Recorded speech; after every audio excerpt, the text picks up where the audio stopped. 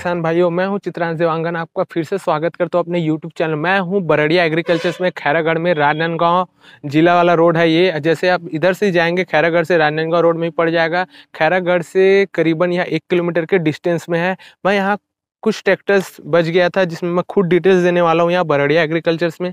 यहाँ महिंद्रा, जो महिंद्रा लवर है, उनके लिए बेस्ट होने वाली मैं इसमें पाँच ट्रैक्टर्स दिखाऊँगा ओनली उसमें जो बेस्ट बेस्ट है, जैसे कि दो पचहत्तर बहुत डिमांडेबल है और चार पचहत्तर। ये दोनों जो महिंद्रा के लवर हैं महिंद्रा कंपनी का ट्रैक्टर्स लेना चाहते हैं, उनके लिए यह बेस्ट वीडियो रहेगा। तो हम स्टार्ट करते हैं महिंद्रा बी दो पचहत्तर डी से। ये आपको टीयू वर्जन में आता है। अब टीयू का जैसे कि टीयू और इको मॉडल आता है इको करके तो ये टीयू आपको उनचालीस एच कैटेगरी में मिलेगा। यह है दो पचहत्तर डी और पासिंग की बात करें तो आपको लोकल रहता है, यहाँ फाइनेंस की भी सुविधा है।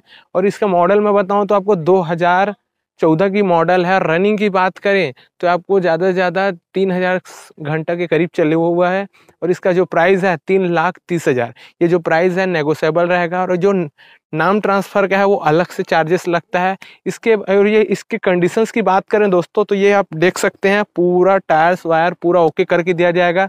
इसके बाद हम देखेंगे फिर टी यू है। दो पचहत्तर डी आई उसके नेक्स्ट जैसे कि वो नहीं ले पा रहे हैं, अगर ये लेना है तो ये उससे भी थोड़ा कम रहेगा प्राइस तो ये मॉडल हम बता देते हैं, ये है आपका मॉडल है।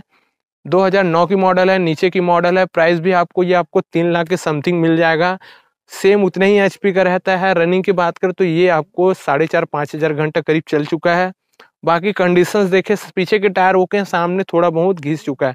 इसके बाद मैं लेके चलता हूँ चार पचहत्तर डी जो चार पचहत्तर लवर है महिंद्रा कंपनी का, ये आपको मिलने वाला है। चार पचहत्तर आता है, बयालीस एच के कैटेगरी में आता है।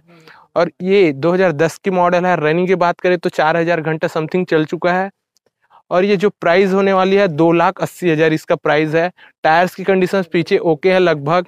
ये आपको ट्रेडर्स वगैरह बिज़नेस पर्पस के लिए भी इसको यूज़ कर सकते हैं। कंडीशंस की बात करें, थोड़ा बहुत फैड है कलर ऊपर का।